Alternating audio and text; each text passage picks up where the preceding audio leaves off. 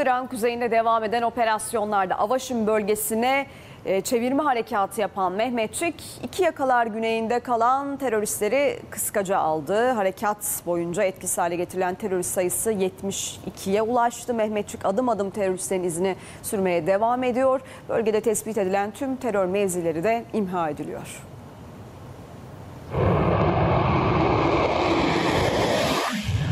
Avaşin, Basyan ve Metina bölgelerindeki terör hedeflerine yönelik Pençe Yıldırım ve Pençe Şimşek operasyonları 23 Nisan'dan bu yana devam ediyor. Avaşin'deki Mamraşkeri Dağı'nı kontrol altına alan Mehmetçik, Dağlıca'nın karşısında bulunan Piramit Tepe'de alan hakimiyetini genişletti.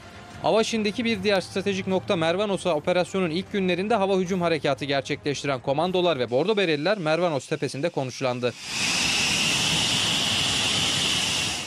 Terör örgütü PKK hattının arka bölgelerine sızılması ve kontrolün sağlanmasıyla iki yakaların güneyinde kalan teröristler kıskaca alınmış oldu. Mervanos'la Mamraş arasındaki alanın kapatılmasıyla PKK'nın iki yakalar bölgesinde gruplarla irtibatı kesilmiş olacak. Terör örgütü Irak içlerinden Metina, Avaşin, Zap bölgesine terörist takviyesi yapmaya çalışırken Türk savaş uçakları ve silahlı insansız hava araçları hareketli hedeflere nokta operasyon yapıyor.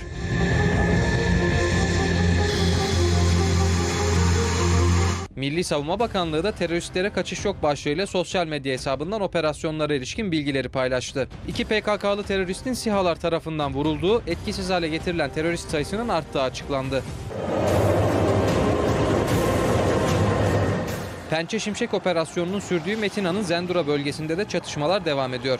Türk Silahlı Kuvvetleri Metina'nın kuzeyindeki Balula ve Zinnar'da hakimiyeti sağladı. PKK'lı teröristlerin Zinnar'ın güneyindeki Kesta köyüne girerek sivilleri kalkan yapmaya çalıştığı, yerel halkın köyü boşaltmasının ardından köyün içindeki teröristlerin ateş altına alındığı ifade edildi. Türk askeri bir yandan teröristlerle mücadele ederken bir yandan da bölgedeki terör mevzilerini imha ediyor. Öyle ki Avaşin bölgesindeki teröristlere ait bir mağara içindeki silah, mühimmat ve yaşam malzemeleriyle birlikte imha edildi. Milli Savunma Bakanlığı o mağaranın görüntülerini paylaştı.